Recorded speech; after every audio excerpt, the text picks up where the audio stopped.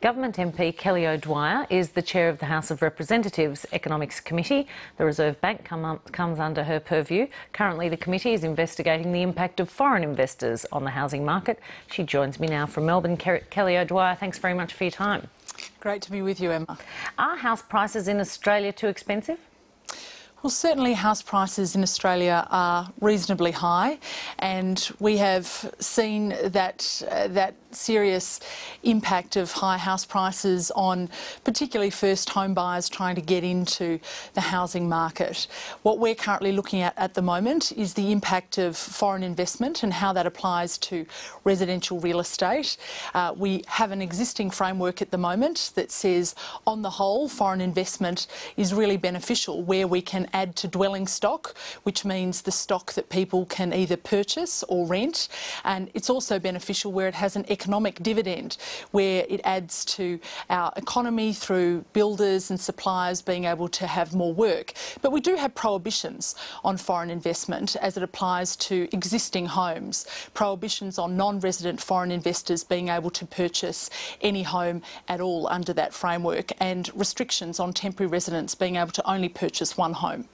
We'll get into more detail around foreign investment shortly, but first I want to talk about the noise around the Reserve Bank.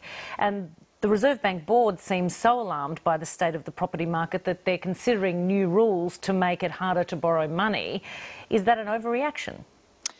Well, look, what we have seen through the last three hearings where we have had oversight of the Reserve Bank is that the Reserve Bank have been very closely monitoring the housing sector. They have never ruled out uh, using macro prudential tools. Uh, they have, in the past, been reasonably critical about the impact of macro prudential tools as they have been applied, for instance, in New Zealand. Uh, but what they have suggested in the most recent financial stability review is that they're going to work with with APRA, the prudential regulator, to ensure that there are safe lending standards, and that seems entirely appropriate to me. Does the government share the RBA's concerns that people might be overextending themselves, borrowing money that they won't necessarily be in a position to pay back? Well, look, the Reserve Bank and also APRA are both independent organisations and they will make their own assessments as to this. They're doing their job and I think it's appropriate that they go about doing their job to ensure financial stability. It's very important for our economy to have uh, strong confidence in our financial system and both APRA and the Reserve Bank are important pillars in that. Everywhere else in the world, the global financial crisis was called a banking crisis because it was about the subprime lending. Again, people borrowing money they couldn't necessarily afford to pay back. So I'll draw you back to my initial question, which was Does the government share the concerns of the RBA that that potentially is happening again this time in Australia? Well, I don't think that the RBA have in fact said that uh, we've got an analogous situation to that that was occurring uh, overseas in the US with the subprime market. Um, we have a very different system here. We have a very strongly regulated prudential market. We have a strong banking sector and we have strong uh, risk assessments that apply to people who are taking out loans. We certainly don't have the sort of loans that we saw with um, Fannie Mae and Freddie Mac where people were able to basically uh, get loans that they couldn't afford to pay back, and when they got into financial trouble, uh, simply walk away. That's not the system we have here in Australia. So, why is the Reserve Bank now calling for these sorts of macro prudential uh, changes, which are basically tighter lending rules? Well, I think it's it's prudent to always look at the lending rules that apply and to make sure that they are appropriate for the time. Um, they have been monitoring this situation over some period, over the last uh, 12 months at least, uh, during the three oversight hearings that we have held with the Reserve Bank. And I think that this is simply them doing their job as they are meant to do. Labor's Sam Dastyari wants to haul the RBA board before a Senate committee. Do they have questions to answer? Well, look, uh, as I said before, we've had a number of oversight hearings. We have two public oversight hearings every year as part of the House of Reps Standing Committee on Economics Responsibilities. We have direct responsibility for oversighting the Reserve Bank. Uh, we certainly asked them some very tough questions uh, in the three-hour hearing that we have there. We also had private, we have private briefings as well with the Reserve Bank Governor twice a year, and we put any questions that we need to to the Reserve Bank in order to make sure that we have confidence in exactly what's occurring with with the Reserve Bank, but they are an independent organisation and it is appropriate that they are able to make these decisions based on the information to hand.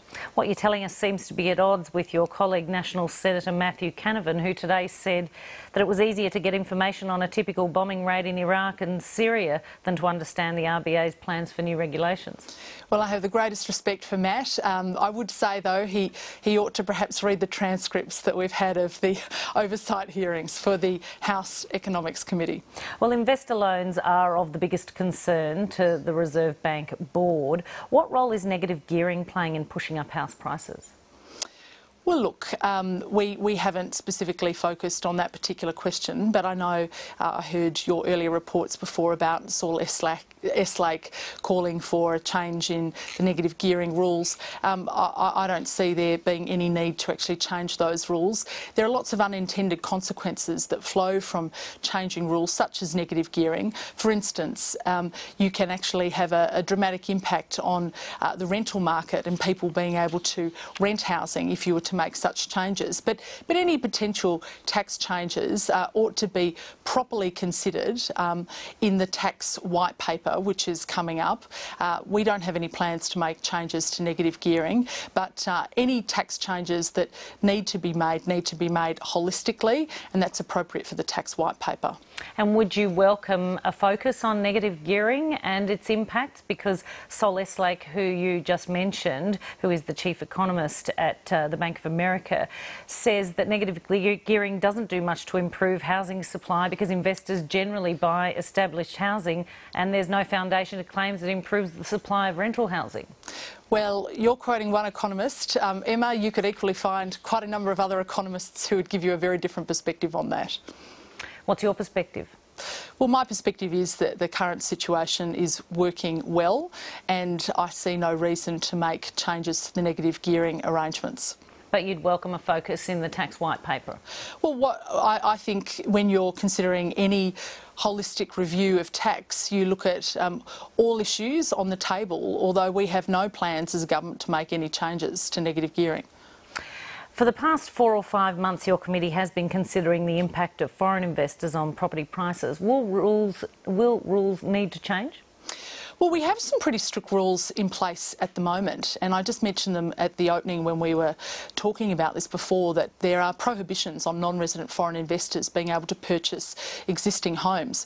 What we've found out, though, through the evidence that our committee has received, is that these rules have simply not been enforced uh, through prosecution since 2006 by the Foreign Investment Review Board. I think there has been a failure of leadership of the Foreign Investment Review Board on this. I think they have dropped the ball. I think that if we have rules in place, those rules need to be properly enforced. That is the only way we can give confidence to the Australian people that our foreign investment framework is working as it should. And so we would be looking to tighten up uh, exactly what occurs in terms of the enforcement penalties that can be applied, um, but also making sure that FIRB is doing its job. You've previously criticised the Foreign Investment Review Board, as you're saying now, for not being tough enough and not showing enough leadership. Foreign investors are not meant to be allowed to buy existing homes. Have you seen evidence to suggest they're getting around that particular rule? Well, we've heard some anecdotal evidence that suggests that there are people who are deliberately contravening the rules. Uh, the problem is, of course, is that those people who are deliberately contravening the rules are simply not going to the Foreign Investment Review Board for approval. So it is quite a difficult and tricky area. Um, the, the other problem here, Emma, too, is that there aren't particularly strong disincentives under our penalty regime if somebody was to make either one purchase or multiple purchases. Under the existing rules, if FIRB did in fact fact prosecute somebody who had purchased one or more properties and they were not able to purchase those properties because they were a non-resident foreign investor, uh, it would take some time to go through the court process uh, and then if that property had gone up in value, that individual would be able to keep the windfall gain that they had made through the increase in value of that property. Now that's simply ridiculous and clearly needs to change. So how are these foreign investors circumventing the rules? Well, uh, there are a number of people who are simply not going to the Foreign Investment Review Board for screening. And uh, if they're not going to the Foreign Investment Review Board for screening, uh, they simply don't think that there is any possibility that they'll be caught. Uh, they think that there's probably not a strong uh, compliance regime in place. And I have to say, I think our compliance and auditing regime is not as strong as it needs to be. Uh, we are looking at how that can be enhanced. That will go to the recommendations that we make as part of our committee's review and report that will be handed down later in the year. And uh, this is a, a critical area to ensure that people have confidence. I saw reports after your initial comments that the Foreign Investment Review Board only has something in the order of eight people to police the whole country and the foreign investment in the area of housing. It does seem a big task for just eight people. Well, look, I would certainly accept that they probably do need some more resources, but I, I, I, don't accept that they were not able to undertake any prosecutions since 2006. Uh, there were prosecutions that took place with the previous uh, coalition government over that time, divestments of properties for people who had purchased contrary to our foreign investment framework. Um, I simply don't accept that they their, their whole job there was to do nothing, and I don't think that that is an excuse. Um, I do think, though, that more resources are are needed for the Foreign Investment Review Board. Uh, one of the issues that we have been looking at is that with the applications that go before the Foreign Investment Review Board, that perhaps there ought to be a modest fee that is associated with those applications and that that money could be hypothecated to FIRB for their compliance, auditing and enforcement activities. Because at the moment, as I understand it, if someone buys a, a, foreign investor, a foreign investor buys an Australian residential property, they actually have to proactively go to the Foreign Investment Review Board for to apply to uh, to undertake that investment. If they know they're contravening the rules, it's highly highly unlikely, isn't it, that they're actually going to put themselves forward? That is exactly right, which is why we need to have better data, better information, which is another reason why one of the key recommendations that our committee will be making is to have a national register where at the transfer of land you actually understand who is purchasing that residential property and that that data can be matched against all sorts of other data, including data from the Immigration Department where you have, for instance, temporary residents who might have left the country and and who, under our current existing foreign investment framework, need to sell their property within three months of leaving. Some of those people are not doing that, and the data isn't being matched, which means those people at the moment are not being caught. How widespread is the abuse of the rules? Well, it's very difficult to put a finger on it, and that's why um, we have been receiving as much evidence as we can from various different sources, matching that evidence up, and uh, looking to make recommendations that strengthen our framework. We have to leave it there. Kelly O'Dwyer, thank you very much. Of course, coming to us from Canberra, not from Melbourne. Great to be with you, Emma.